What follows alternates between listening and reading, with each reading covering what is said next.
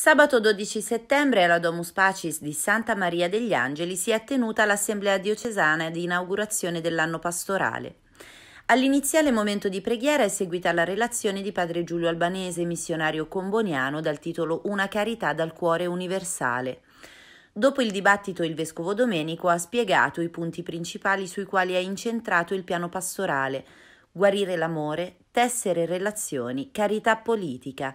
Sono i temi che verranno affrontati rispettivamente il primo, secondo e terzo anno del triennio sulla carità appena avviato. Noi viviamo in un mondo villaggio globale, eppure credo che come credenti ci viene chiesto di uscire fuori le mura perché l'andare è la legge della fede e dell'esistenza cristiana. Il locus per eccellenza della missione è la periferia, dice Papa Francesco, non solo quella geografica ma anche esistenziale e la nostra non può essere una presenza neutrale, dalla parte dei poveri. Ecco, capire che dobbiamo operare questo decentramento narrativo, eh, affermare la logica delle beatitudini e comprendere col cuore e con la mente che abbiamo un destino comune. Dunque i, i problemi della periferia sono in fondo i problemi del centro.